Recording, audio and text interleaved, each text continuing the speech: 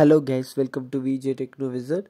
In this video I am going to show how to download SQL Server in your PC at free of cost. Okay, just type SQL Server download Windows 10 or 11 in Chrome. Now I am going to install this application in Windows 11 and click that first link. It's an official link microsoft.com scroll down you have able to see two options developer and express. Both are free but i'll prefer express version because it has both development and production for desktop web app and small server application as well.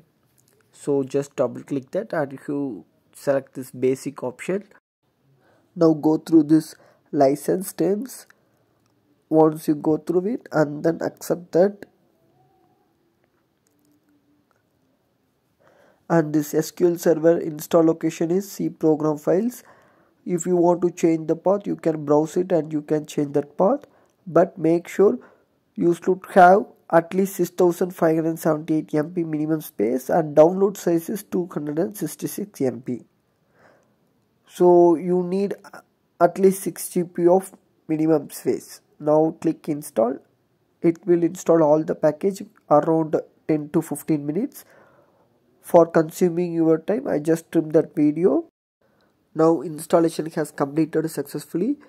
Now you have to check whether it's working fine or not. Click that connect now button.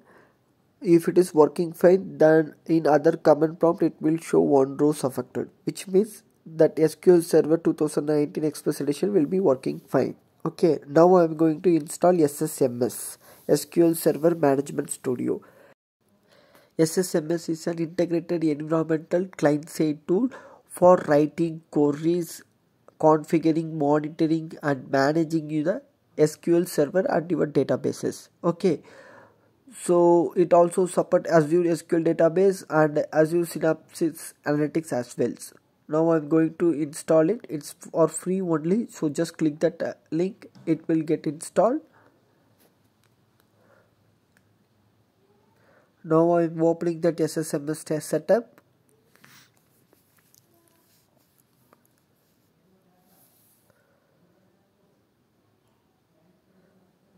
now here it shows that location path. If you want you can change that location as well. I'm going to install in the default location C program files.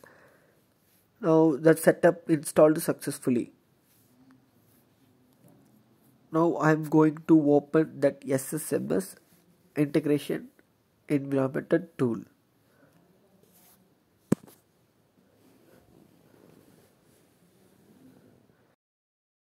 In server type we have multiple options database engine analysis reporting integration services and in server name I choose VJSQL Express. In authentication we have multiple options but as of now we choose Windows authentication in next video I'll show how to download MSB, SSAS, RS and IS. Now I choose database engineer server type and I connect. Now it's connected to Microsoft SQL Server from IDE. Okay, now we expand this. Currently we have two data system database and database snapshot. Just expanding this expanding database snapshot as well. Okay i am going to create one more database using this new query. Just click this new query and type the command or syntax whatever. Create database lane sql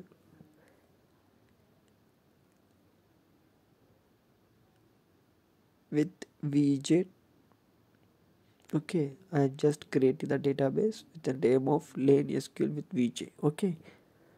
Now i run this query by click that execute button. You can also click f5 to run that query. I just increase the size. I think you can able to view that query clearly. Now i'm going to create a new table inside this database lane SQL with VJ. The table name is demo.